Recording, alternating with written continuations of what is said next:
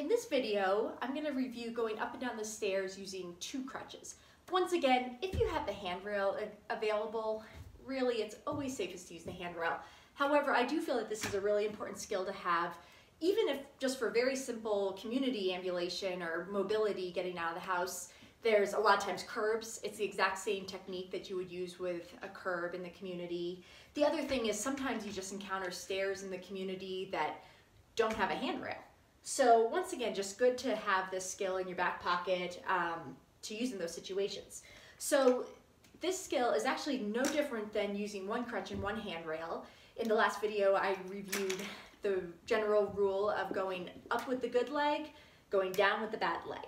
Um, once again, your good leg is your stronger leg, your leg that didn't have surgery on it. Maybe it's your less painful side. Your bad leg, I'll just keep using that term, but talking about a side that maybe had surgery or a side that's very painful or a side that's weaker.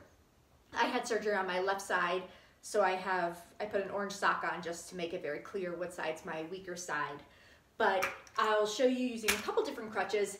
It really doesn't matter for the two crutch technique because it's, it's really all the same.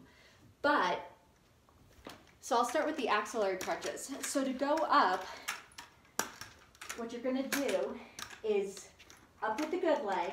So you're gonna put your good leg up and then your crutches and the bad leg follow. So really that good leg is doing all the manpower. It's really pushing you up. If you can imagine though, for this technique, you really do want to be at a point where you don't have any dizziness, you're not having um, dizziness, lightheadedness, you don't want to be on probably too heavy of pain medications, you don't want to be doing it when you're having a lot of pain or if you're feeling off balance. Um, it does take a little bit more core stability and some balance and coordination to do but um, definitely good to practice, especially once you get to that point of being a little bit safer and more independent with moving around.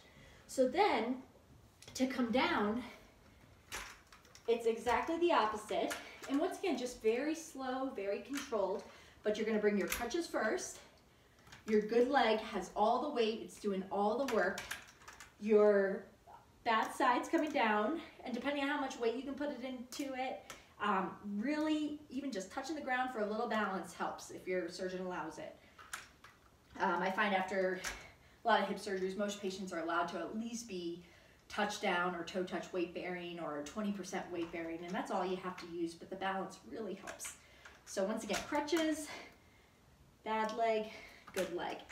Crutches, bad leg, good leg. You can see as I get a little bit more comfortable, I actually usually bring my crutches and my bad leg down together. But if you're feeling unsteady, you know, the crutches, the bad leg, the good leg. And then just to show you,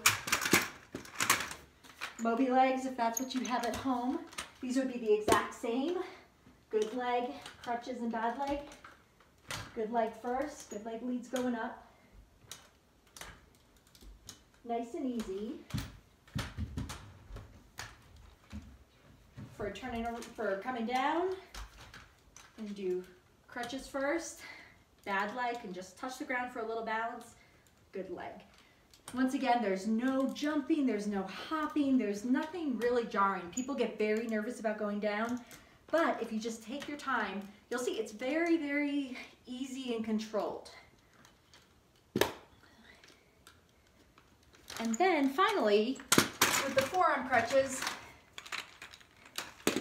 exact same technique. So up with the good, crutches and your bad leg follow. Up with the good. These just require even a little bit more balance and stability work and a little bit more coordination. But once again, when you get used to it, it's the exact same skill set. I'm just being very careful turning around the stairs. I don't recommend doing that. Um, crutches, bad leg, good leg.